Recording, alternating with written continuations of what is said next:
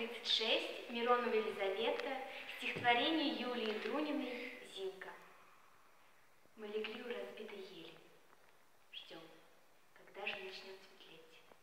Под шинелью вдвоем теплее, на продрогшей гнилой земле. Знаешь, Юлька, я против грусти, но сегодня она не в счет. Дома в яблочном захолустье мамка моя живет. У тебя есть друзья, любимый, у меня лишь она одна. Пахнет в хате квашней и дымом, за порогом бурлит весна. Старый, кажется, каждый кустик беспокойную дочку ждет. Знаешь, Юлька, я против грусти, но сегодня она не в счет. Отогрелись мы еле-еле. Вдруг приказ выступать вперед. Снова рядом с сырой шинели светлокосый солдат идет. С каждым днем становилось горше. Шли без митингов и знамен. В окружение попал подольше наш потрепанный батальон. Зинка нас повела в атаку.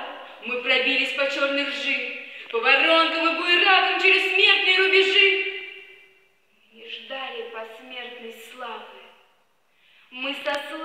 Хотели жить.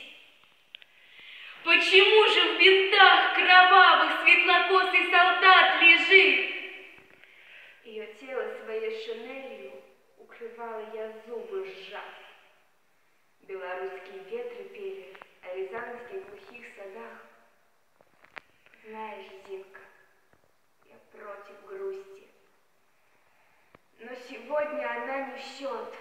Где-то в яблочном захолустье мама, мамка твоя живет.